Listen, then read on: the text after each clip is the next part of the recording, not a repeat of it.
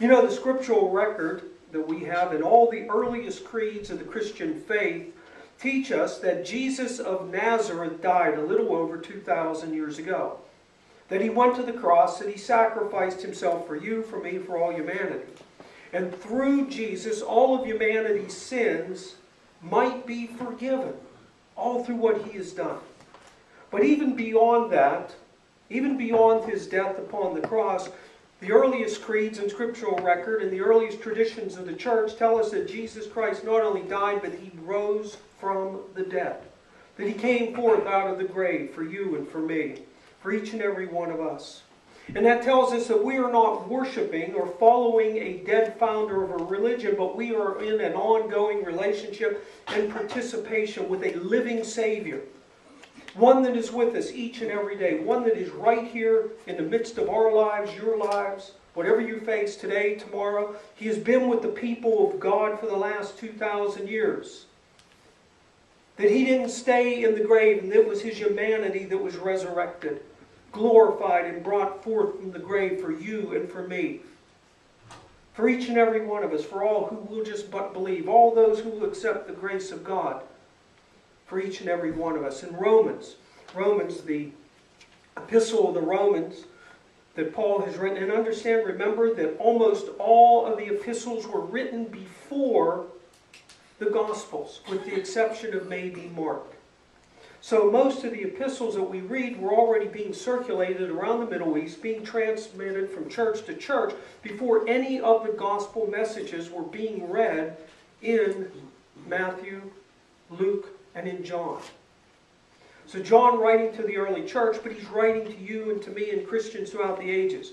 In Romans 1, Romans 1, breaking into the third chapter, says, concerning his son, that is Jesus Christ, who was a descendant of David according to the flesh, and he was declared to be the Son of God in power through the resurrection of the dead. That is, that Jesus Christ is not the Son of God because he was raised from the dead, but rather he was raised from the dead because he is the Son of God. He isn't the Son of God because he was raised from the dead, but he was raised because he is the Son of the living God. You see, the resurrection the resurrection of Jesus confirms the deity of Christ. And remember, without the resurrection, without the resurrection of Jesus, the cross would be absolutely meaningless. The resurrection verifies the incarnation and demonstrates the power of the cross to bring new life to you and to me. He is the only one through whom and by whom humanity can be reconciled brought back into union with himself. That is a right relationship. And it was through Jesus Christ coming in the flesh, the very Son of God, the eternal Son of God, taking on the humanity that each and every one of us has, living, going to the cross, dying, and being buried, and then being raised, that we can have an all new life. You see, the resurrection of Jesus Christ, the resurrection of Jesus Christ is the pivotal moment in all of human history the history of salvation. For without the resurrection, without the resurrection, Jesus would simply have been another martyr, the founder of another religion, a prophet, a rabbi. But the resurrection demonstrates that he is much more than that, that he is God in the flesh. He has done for each and every one of us what none of us could have accomplished for ourselves. He accomplished our salvation for you, for me, for every one of us, if we will just but accept it. He has done that for all of us. He's done for us what we could never have accomplished, not through any self help, willpower, adherence to code of ethics or morals. He has done for us what we could not do for ourselves in Acts. Acts, the second chapter, beginning in verse 31. We read, For he foresaw and spoke of the resurrection of Christ, that is David. For he saw and he spoke about the resurrection of Christ, that he was not abandoned to the grave, nor did his flesh see corruption. This Jesus God raised up, and of that we are witnesses. Being therefore exalted at the right hand of God, and having received from the Father the promise of the Holy Spirit, he has poured out this Spirit upon ourselves and has demonstrated it in your seeing and your hearing. You see, the resurrection of Jesus. The resurrection of Jesus was one of the pivotal moments in all of history, and it was the focal point of the presentation of the gospel. They were witnesses that Jesus lives. Not that he had lived, but he lives. The early church traveled across the face of the Roman Empire, telling others about a living Savior, one who is there for each and every one of us. In 2 Corinthians, 2 Corinthians 5, the 14th chapter.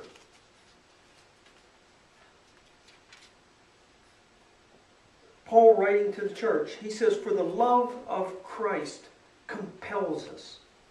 The love of Christ compels us. That is, it was the love that God had for us that motivated the early church. You see, that's what motivated the early church to travel throughout the Roman Empire and the ancient world telling people about Jesus, sharing Christ with others. It was God's love for them that motivated them. It wasn't their love for God, but rather God's love for them. That they were impelled, they were compelled, they were motivated to tell others about the love that God has for each and every one of us, for all humanity. It says, For the love of God compels us, the love of Christ compels us, for we have concluded. We have concluded. See, the early church had to come to a decision about what has changed in humanity's relationship with God. With the entrance of Jesus Christ into the stream of human history, the early church had to come to grips as to what does this mean? What does it mean that God has come in the flesh in the person of Jesus? What does this mean? The early church had to come to a decision. We have concluded that means that they talked about it, they thought about it, they considered it. They developed a theology about it. They came to an understanding as to what has changed in humanity's relationship with the great God because Jesus has come. We have concluded this that one died for all, that one died for all, therefore all have died. And he died for all, that those who live might no longer live for themselves, but for him who for their sakes died and was raised. That is, in Jesus, all of us have died, and in Jesus, all of us have raised. That there's a new life for all of us because Jesus came forth from the grave. If Jesus was not resurrected, if Jesus was not resurrected, there would be no new life for any of us. There would be no hope of eternal life. There would be no hope of our lives ever being any different than they were the day before we heard the message of the gospel. But because Jesus has been raised, because our old self has died in him, our old natures, who we were, and our ignorance of who Christ is, and what he has accomplished for all of us, because he has raised we are raised now in Him, through Him, and by Him for all new life. To have a whole new orientation, a whole new relationship with the great God. To be able to relate to one another in peaceful ways. To have a unity and a closeness. All because He raised from the dead. Jesus is the hope of all humanity through whom and by whom he has reconciled each and every one of us, the entire race of man, back to himself through Christ. Again, this is not something that we could have done. You and I could never have accomplished this. Our best efforts would be